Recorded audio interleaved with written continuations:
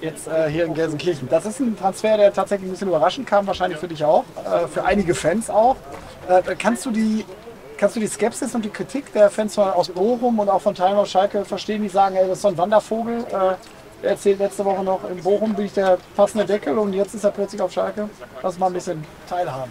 Ja, ich glaube äh, in erster Linie, wenn ich ein Mensch bin, der geerdet bin, und der bin ich, davon kann ich überzeugt sagen, dass ich das bin, glaube ich schon, dass äh, ich die Leute verstehen kann. Ja? Und äh, natürlich ist aufgrund der Rivalität, der Nähe auch des, des Vereins, kann ich alle verstehen, ja, die, die, die, sicherlich das sagen. Und auch wenn man auf meine Karriere schaut, glaube ich, überzeugt sagen zu können, dass ich viele Vereine gehabt habe, worauf ich aber sehr, sehr stolz bin, diese Vereine gehabt zu haben, weil jeder einzelne Verein hat mich weitergebracht in meiner Karriere und ähm, heute hier wirklich auch stehen zu können. Und am Ende des Tages ist für mich immer wichtig zu sagen, dass egal wo ich spiele, ich mein Herz auf den Platz lasse und äh, wirklich das dem Verein geben möchte, wie ich selbst gestrickt bin. Und am Ende des Tages ist dann die Beurteilung aller Außen, die, zu sagen, okay, der lässt jetzt sein Herz auf den Platz, der lässt sein Herz nicht auf den Platz. Und das ist für mich das Aller, Allerwichtigste. Und was dann jeder Einzelne erzählt draußen drumherum, das hat mich noch nie berührt, das, das wird mich auch nie berühren. Wichtig ist meine Familie, meine engsten Freunde ähm, und dass ich in Ruhe arbeiten kann. In Ruhe meine ich damit, dass ich natürlich mich all dessen stelle auch, das ist, äh, dessen bin ich mir auch bewusst, aber für mich einfach in Ruhe arbeiten kann, meine Leistung auf den Platz bringen kann, damit der Mannschaft helfen kann und damit auch den Verein letztendlich, wo ich spiele, auch helfen kann. Warum Schalke? Warum Schalke? Weil ähm, Rufen Schröder mich äh, ich weiß jetzt gar nicht, heute haben wir Dienst, Mittwoch, äh, ja vor circa zehn Tagen angerufen hat und mich sehr, sehr überzeugt äh, hat in den Gesprächen von Anfang an zu sagen, ähm, was für eine Rolle hier auf Schalke äh, wirklich auch ähm, ich spielen kann und wir als Verein auch ähm, was angepackt werden muss und soll und wird. Und ähm, damit kann ich mich einfach identifizieren. Ja, das ist das, genau das, was ich in meiner Karriere, in den 13, 14 Jahren, die ich jetzt in meiner Profikarriere unterwegs bin, ähm, eigentlich in jedem Verein vorgefunden habe. Ja, sich wirklich um die, um die Klasse um den Klassenerhalt zu erkämpfen, ähm, dafür wirklich auch äh, voranzugehen und wirklich auch Dinge, ähm, Eigenschaften auf den Platz zu bringen, die mich auch einfach auszeichnen. Ja, wo ich auch selbst stolz drauf bin, dass ich ein gutes Elternhaus genossen habe ähm, und sagen kann, meine Eltern haben mich dahingehend erzogen, wirklich ähm, immer wieder ähm, vor, voranzugehen, wirklich hart zu arbeiten, sich etwas hart zu erarbeiten und damit meine ich jetzt in dem Fall dann auch sich den Klassenerhalt über die nächsten Jahre hart zu erarbeiten sagen alle, der Polter und der Terodde, das sind ja ähnliche Stürmertypen, der funktioniert noch nie. So, was sagst du denen? kann ich nichts zu sagen, weil ich habe mit Simon noch nie ähm, wirklich zusammengespielt. Ja, natürlich ist, ich habe es auch gerade schon gesagt, ähm, Simon ist, egal bei welchem Verein er gespielt hat, ähm, auf der Position wie ich am Ende des Tages. Er hat sehr, sehr wichtige Tore geschossen für all die Vereine, die sehr, sehr viele wichtige Tore geschossen für all die Vereine, wo er gespielt hat.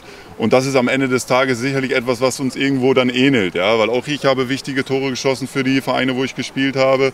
Und ähm, am Ende des Tages ist es eine Bewertung des, Spiel, äh, des Trainers oder des Trainerteams, des Vereins ähm, darüber hinaus. Aber ich glaube schon, dass wir nicht komplett gleich sind am Ende des Tages ist, glaube ich, auch wichtig, dass Simon so wie auch ich sehr, sehr mannschaftsdienlich spielen, alles für die Mannschaft tun auf dem Platz und da ist es egal, ob man alleine oder zusammen spielt. Aber kannst du dir vorstellen, auch, also Definitiv. Ich glaube auch, dass es sehr gut funktioniert. Olli? Äh, Schalke ist ja jetzt ein besonderer Verein, sicherlich auch mit seiner Fans, ein sehr emotionaler Club mit äh, toller Atmosphäre. Ähm, ist das etwas, äh, auf das du dich vielleicht besonders freust? Ich meine, du bist ja auch ein Spieler, der Bochumer Zeit auch schon mal gesagt hat, dass du das inspirierend findest und in dem Zusammenhang auch kann das manchmal auch zum Problem für eine Mannschaft werden, wenn sagen wir mal, die Enttäuschung von den Fans in schlechten Saisonphasen zu groß ist. Was ist da dein Rezept, damit umzugehen? Also erst einmal finde ich, dass wir in Deutschland äh, sehr, sehr viele tolle Traditionsclubs haben. Allererster äh, Satz von mir. Und zweitens ist es toll, einfach eine, eine, Fankultur hinter einem Verein zu haben, wie auf Schalke, die, die den Verein einfach ähm, ja, lebt ja, und einfach auch wirklich irgendwo ähm, alles für den Verein tut, in, in schlechten wie in guten Zeiten. Und ich bin immer jemand, der in schlechten Zeiten wirklich auch, eigentlich mehr die schlechten Zeiten äh, in den Vordergrund stellt, weil ich glaube, dass wenn man in schlechten Zeiten wirklich viel miteinander kommuniziert, auch viel miteinander einfach spricht und auch wirklich direkt und ehrlich zueinander ist, dann kann man daran wachsen und ähm, das ist das Aller, Allerwichtigste und ich glaube, dass der Verein da in dem letzten Jahr, besonders in dem letzten Jahr in der zweiten Liga, einen sehr, sehr wichtigen und großen Schritt gemacht hat. Einfach jetzt für die nächsten Jahre, dass wir alle zusammen wirklich an einen Strang ziehen und diesen, diesen Weg dann am Ende des Tages gehen. Und ich glaube, das ist das Aller, Allerwichtigste. Keine Angst, dass die Erwartungshaltung manchmal zu groß wird. Man, man vergisst es ja, Schalke ist ein Aufsteiger, budgettechnisch unterscheidet sich der Club nicht wesentlich von anderen Aufsteigern. Aber viele haben immer noch so im, im, im Kopf oder im Herzen Eindruck, Schalke ist eigentlich viel größer. Ja, auch das ist sicherlich äh, ein Thema, was wir auch sicherlich in der Mannschaft dann haben werden. Ja, aber ich glaube, dass, dass wenn wir in der Mannschaft, der Mannschaftskern einfach wirklich diese, diese eine Meinung hat, dass wir uns auf unsere Arbeit konzentrieren, auf das Wesentliche konzentrieren und das ist Spiele zu gewinnen, erfolgreich zu sein.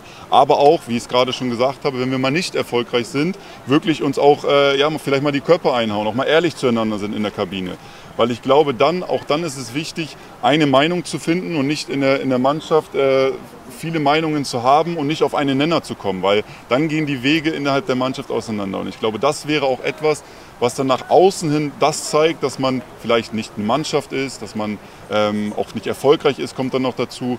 Der Druck im Fußball, im Profisport, ich glaube, der gehört immer dazu. Ja? Und ich glaube, dessen muss sich jeder Einzelne bewusst sein und ist sich sicherlich auch bewusst. Und ähm, nochmal, ich bin immer ein Freund davon, auch in den negativen Phasen wirklich auch ähm, ja, daraus Stärke zu ziehen, um größer zu werden, um dann erfolgreich am Ende wieder zu sein. Ja. Frank Kramer ähm, hat ja mit Arminia Bielefeld die laufstärkste Mannschaft in der vergangenen Saison auf Platz gebracht. Ähm, die Vorbereitung an sich ist ja eh immer anstrengend, aber könnte natürlich viel Konditionsarbeit sein. Freut man sich darauf? Ja, freuen ist äh, vielleicht jetzt das falsche Wort, wenn ich ehrlich bin. Ähm, aber ich bin jetzt mittlerweile 13, 13 Jahre Profi. Ich glaube, äh, damit äh, verbunden 26 Vorbereitungen hinter mir. Die Vorbereitung ist immer das Härteste am Ganzen. Ja. Aber ich bin auch ähm, Realist und sage, wir brauchen einen guten Grundstein für die Saison. Ja. Und deswegen muss man hart arbeiten. Ich bin gerne jemand, der hart arbeitet. Ich weiß, dass der Trainer seine Mannschaften immer die laufstärksten Mannschaften sind. Damit habe ich gar kein Problem, weil ich auch jemand bin, der wirklich auch intensiv arbeiten möchte, auch vorne intensiv mich äh, wirklich immer wieder aufreiben möchte ähm, in meiner eigenen Spielweise werdet ihr sich das sicherlich kennenlernen, dass es äh, manchmal schon vielleicht so ein bisschen too much wirkt äh, im, im, Ganzen, im Großen. Aber das ist etwas, wo, wo ich mich auch komplett drin sehe. Ja? Und nochmal, ich glaube, das habe ich auch letztes Jahr schon mal gesagt, oder die letzten Jahre in der Bundesliga, die Bundesliga geht, geht glaube ich, gar nicht anders, außer diese Intensität auf den Platz zu bringen, wirklich auch ähm, viel zu laufen. Das ist heutzutage normal geworden, irgendwo ein Stück weit. Und ich glaube, da müssen wir alle hart anpacken in der Vorbereitung, um wirklich erfolgreich zu sein.